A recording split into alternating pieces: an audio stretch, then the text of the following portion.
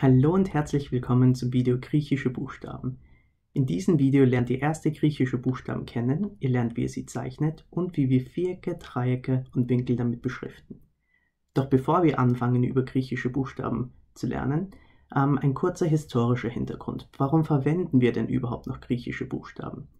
Die Geometrie war damals in der Antike im alten Griechenland das Hauptthema der Mathematik und gewisse Züge haben sich bis heute durchgesetzt. Beispielsweise verwenden wir immer noch, wenn wir mit Winkeln arbeiten, griechische Buchstaben, um diese zu beschriften.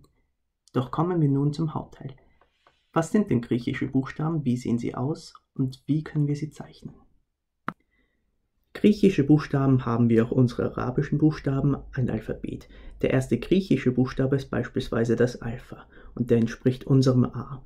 Der zweite Buchstabe ist das Beta, das entspricht unserem B.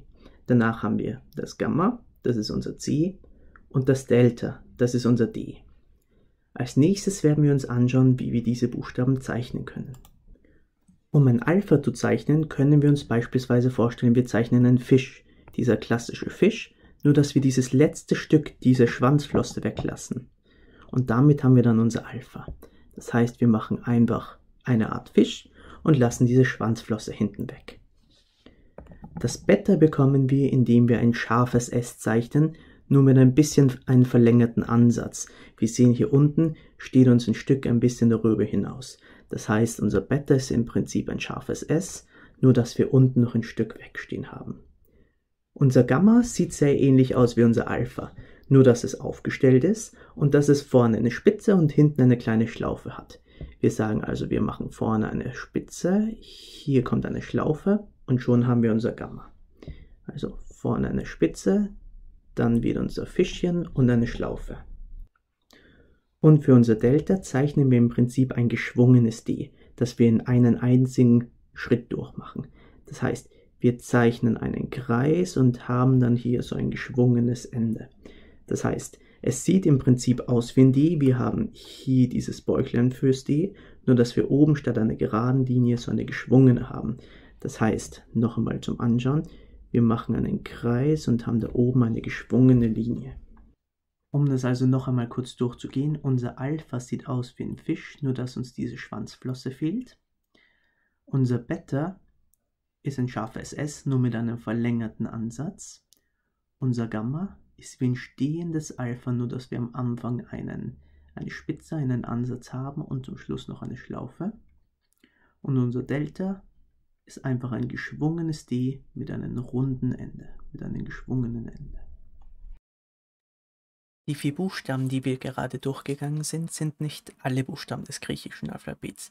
Ihr werdet im Laufe eurer Schulzeit noch viele, viele mehr kennenlernen.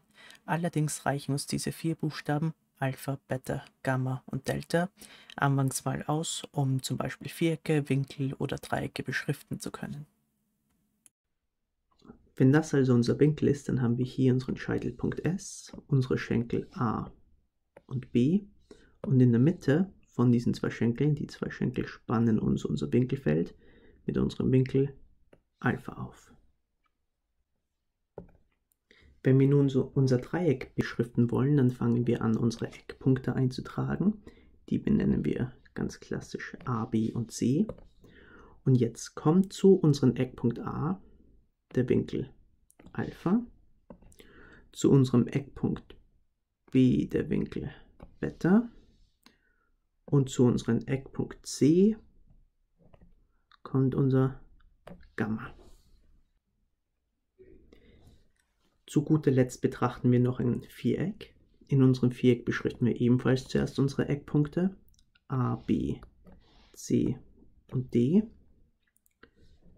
Und dann weisen wir die Winkel zu. Hier hätten wir den Winkel Alpha. Hier hätten wir unseren Winkel Beta. Hier hätten wir unseren Winkel Gamma. Und zu guter Letzt haben wir hier unser Delta. Ich hoffe, ich konnte euch mit diesem kurzen Video helfen und freue mich schon, euch beim nächsten Video wiederzusehen.